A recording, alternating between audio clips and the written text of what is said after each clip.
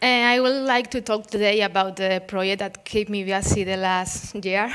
and this is about how to combine model-driven engineering with ROS everyday code. Well, I don't think I have to spend time here talking about all the advantages of ROS and why ROS is the most popular framework to program robots. I would like to point some of the lacks that we have. And they are about specifications, they are about quality standards, and that our code is mainly uh, written manually. That means that we can create a lot of errors. And at the end, you have to run everything on runtime and test your system. And this is exactly what we can use model-driven engineering. Model-driven engineering, you have design patterns with these patterns or this model. You ensure the quality, and then from this, you can generate code. And also, when you have this information into a structured way, you can use model checkers techniques to check your system and validate that everything will work on runtime. But this idea of combined model-driven engineering and ROS is not new at all. I can mention many projects that already demonstrate that this is possible. We can describe into a model uh, all the ROS nodes and ROS applications. But mainly we use for these approaches the um, traditional model-driven engineering uh, way, that is we have a model and from model we uh, generate code. The main problem here is that we are ROS developers. We like to start with an empty file and start writing our code, and we don't like to get a template. Also for us, it's super difficult to create a template that everyone will use and that will work for any application. In my case, if I have to develop something, probably the code will looks completely different depending of what I have to do. And from my point of view, this is ignoring one of the biggest advantages of ROS, that is the more than 4,000 handwritten packets that are already allowed. Then that I am doing, and that we are doing for SeRoNet in this case, that we are complementing this method that go from model to ROS code to an arrow on the direction, a bottom-up approach, where we are from ROS code able to extract the models. For extract the models, I use two different uh, methods. One is the static code analysis of, of, existing code, and the second method is uh, running time monitors. I will very briefly talk about uh, these two methods. Uh, the first one that I am using is Haros. Uh, Haros is a framework to extract information without executing code. This uh, has been developed by Andres Santos in INESC TEC in Portugal. He did a great job. And actually, I think that he presented his work twice at this conference, the last two years of conferences. The runtime monitor, this is something developed by my colleague uh, Ludovic Delval for the project Scalable. And he did a tool that parsing the ROS graph is able to extract all the information about what is going on on your system what is very convenient for us for SeRoNet, where, if you remember the presentation of my colleague uh, Pion yesterday, he told that we want to connect ROS with another frameworks and do it much as easy as possible for you. For that, you have the, your ROS running system, and running this uh, tool, you are able to extract the model and then connect to another models. So let's go for the real contributions. I am talking about models, then the first thing that I have to do are models. I'm very genial with the names and I call them ROS model and ROS system model.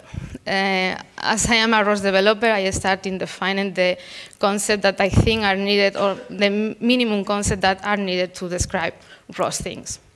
Then the ROS model is describing a ROS package, where we can do a ROS package, we can define nodes, we can define inside this node the interfaces that are topics, action, or services.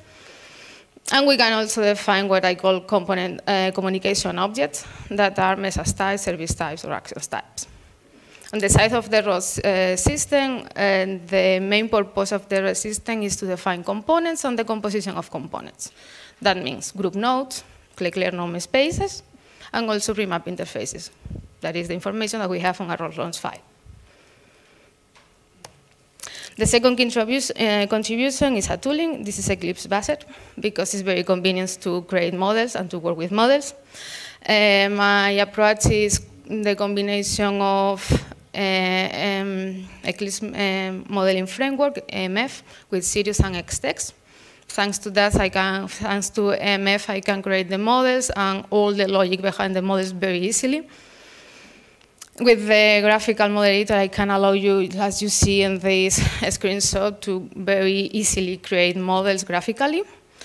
And Xtext is to create a domain-specific language. That means for all of my models, I created um, language with, where I have a parser, where I have an editor, where I have a grammar. And with this grammar, I can add some validation rules every time that you want to compile your code. That means generate code from your existing model. This is a very typical approach. Everything is released, and very easily you can install it with two clicks. The third contribution is I am offering the Haros extractor as a web interface. Uh, yeah, when I started working on that, I thought, okay, I have on one hand ROS, that you have to install and understand it. On the other hand, you have Eclipse, where you have to install everything and work with it. On the other hand, you have Haros, where you need a lot of different libraries to compile everything. It was okay. No one will use all of these things together. Then I decided to um, create a web interface with Docker containers where I will, for you, uh, compile your node if it is publicly available on GitHub and extract the information.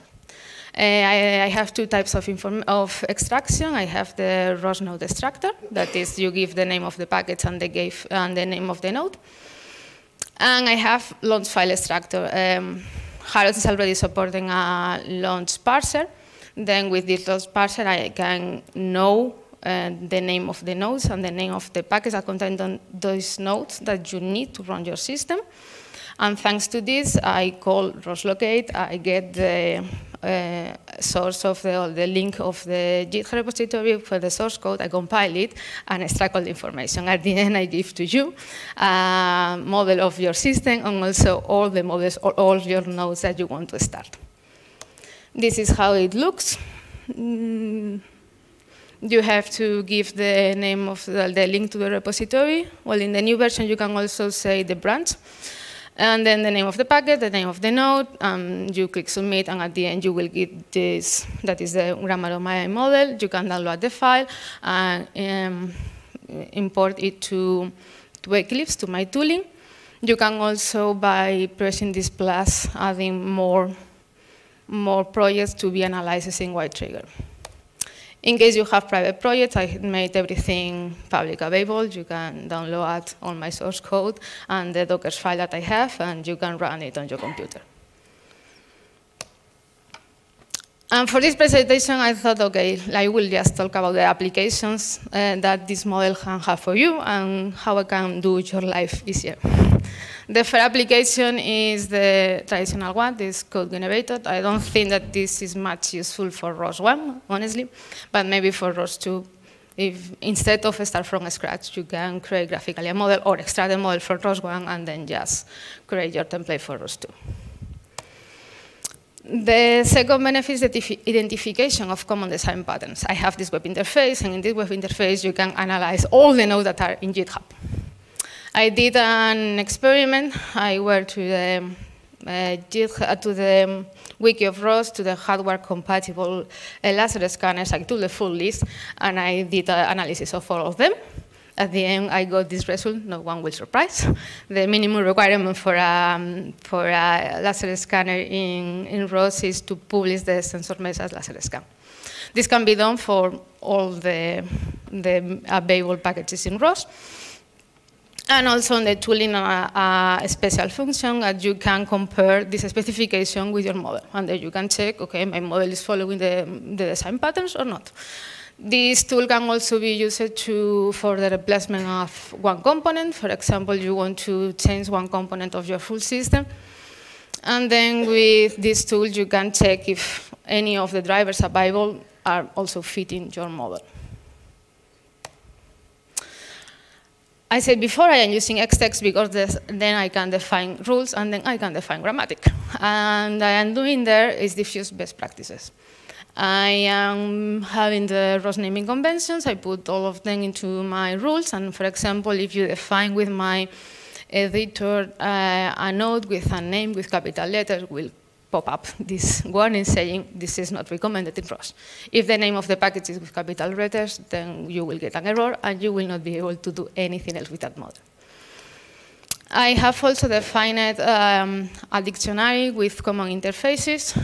I have it on GitHub, and every time that you create a, a new project using my tooling, I will download it from GitHub. I will import it as the basis of your of, of your project, and then when you try, for example, in this case, to write a diagnostic publisher, will appear a suggestion that you should uh, use diagnostic status messages, for example.